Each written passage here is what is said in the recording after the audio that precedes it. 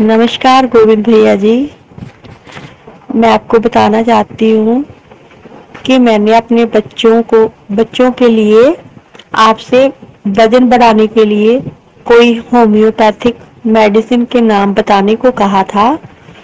आपने मुझे उनमें से तीन चीज़ों का इस्तेमाल करने को कहा है जिनका नाम फाइफोस अल्फाल्फा माल्ट और जनेशिया ल्यूटिया मेरे बच्चों ने इसका इस्तेमाल 25 अप्रैल से करना शुरू किया है।